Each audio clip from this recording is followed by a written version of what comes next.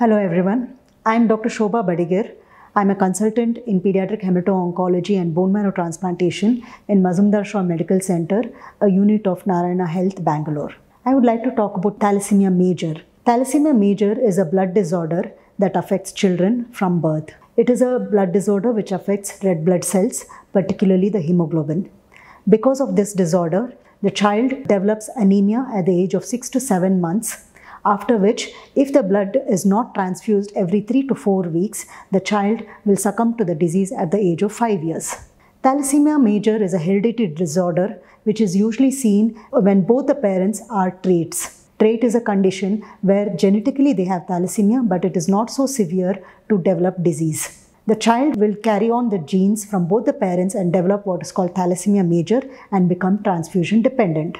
So, how do the parents know that the baby has thalassemia? At the age of 6 to 7 months, the child becomes pale, the abdomen can become distended because an organ called spleen becomes big. So, when the child is tested, the hemoglobin will be very low at the level of requiring transfusion. Before transfusion, the child undergoes a test called hemoglobin electrophoresis, which confirms the presence of thalassemia major. A genetic test can also be done, which will again confirm the type of thalassemia major, whether it is beta thalassemia, E beta thalassemia, which are seen in our country. Now, once the diagnosis is made, the child will need blood transfusion every 3 to 4 weeks in thalassemia major. This will have to be continued lifelong unless it, the child undergoes a curative treatment called bone marrow transplantation. By the time the child receives around 10 transfusions, the iron level in the blood becomes very high and this iron can get deposited in various organs and cause various health issues like growth retardation, liver problems, hormonal problems, diabetes, etc. To prevent this, the child will have to be put on what is called iron chelation, which will also be lifelong to prevent the complications because of iron overload. If the parent is aware of what is called bone marrow transplantation, then bone marrow transplantation has to be given to all these patients after taking their consent because it is highly curative. For bone marrow transplantation, we need a healthy donor who will donate their stem cells to this patient.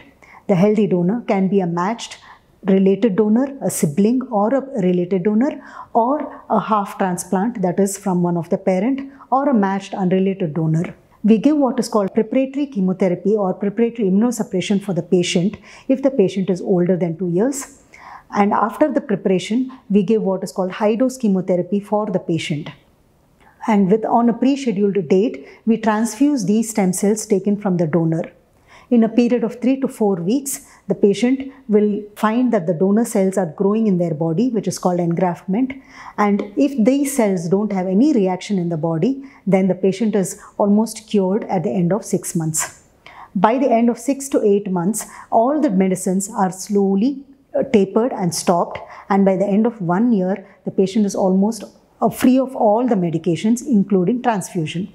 After this, the child will undergo what is called vaccination at a pre-scheduled date, and this child is then certified to be cured of thalassemia. Such a child can go to school like any other normal child and will have to be in regular monitoring under the transplant physician for growth monitoring, hormonal assessment, and to make sure the child grows normally without any problem. In general, thalassemia is highly curative with bone marrow transplantation. Instead of going through three weekly transfusion, complications of iron overload, it is better to take this bone marrow transplantation at an appropriate age before the complications have set in. Thank you.